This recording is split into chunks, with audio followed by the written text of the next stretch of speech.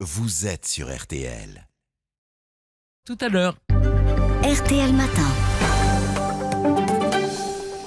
Les difficiles fins de carrière des seniors. On en parle ce matin avec Anaïs Bouissou. Alors qu'on attend les derniers chiffres du chômage en France, ce sera euh, tout à l'heure. hein. L'INSEE euh, les dévoilera pour le quatrième trimestre 2019 à 7h30 et que la question des fins de carrière sera abordée avec les partenaires sociaux à Matignon.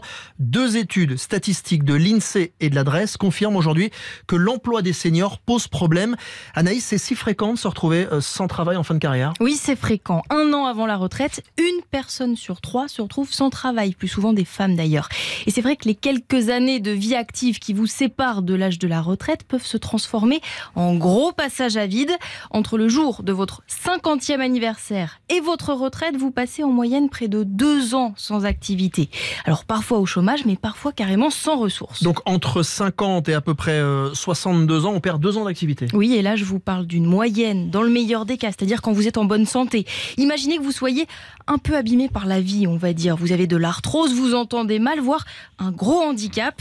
À partir de 50 ans, trouver du travail devient rapidement l'enfer. Il faut compter en moyenne entre 4 et 9 ans sans activité à attendre la retraite. Ouais, mais alors attendez, si on imagine, si on part plus tard à la retraite, ça risque d'aggraver euh, la situation des travailleurs seniors, non? Oui, c'est un gros risque. C'est d'ailleurs ce qui s'est passé en 2010, quand l'âge légal de départ à la retraite a été reculé de 60 à 62 ans. D'après l'adresse, ça a eu un effet catastrophique sur les plus fragiles, les salariés en situation de handicap. Eux, non seulement ils ont dû attendre deux ans de plus pour partir à la retraite, mais en plus, ils sont restés plus longtemps sans travail. Ce qui explique mieux les concertations réclamées par les syndicats dans le cadre de la réforme des retraites. Oui, à l'aune de ces chiffres, on voit bien qu'avant d'obliger tout le monde à travailler plus longtemps, il y a bien au moins trois problèmes à régler. Et le gouvernement en est aussi conscient. Un, permettre aux salariés d'arriver en bonne santé à la retraite. Deux, offrir des carrières complètes en entreprise, quitte à adapter des postes de travail. Et trois, pour ceux qui vraiment ne peuvent plus vraiment non plus la capacité de travailler, eh bien faire en sorte qu'ils partent plutôt à la retraite. Votre plus ce matin, Anaïs, ça bouge dans le secteur du ferroviaire. Oui, le constructeur ferroviaire français Alstom serait sur le point de faire une offre officielle pour acheter l'activité train de son concurrent canadien Bombardier. Une façon pour Alstom de viser à nouveau un développement économique international après l'échec du mariage européen Alstom-Siemens. Votre note 15 sur 20 à l'action du gouvernement.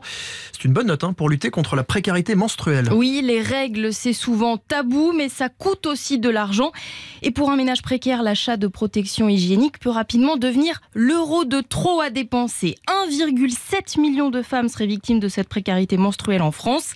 Une bonne note donc aux secrétaires d'État Marlène Schiappa et Christelle Dubos qui lancent une expérimentation pour que les femmes en difficulté puissent se fournir gratuitement en protections hygiéniques. Merci beaucoup, Anaïs. En un clic, retrouvez et commentez toute l'actualité. Rendez-vous sur RTL.fr.